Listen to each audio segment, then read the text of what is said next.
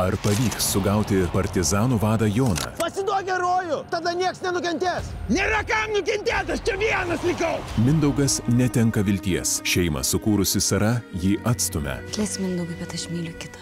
Ir mažasis Vitukas niekada nesužinos, kas tikrasis jo tėvas. Marcelė Kubiliūtė grįžta į Lietuvą ir įsidarbina valytoje. Aš tavo močiutė. Laisvės kaina - partizanai. Paskutinė šio sezono dalis - sekmadienį 21 val. per LRT televiziją.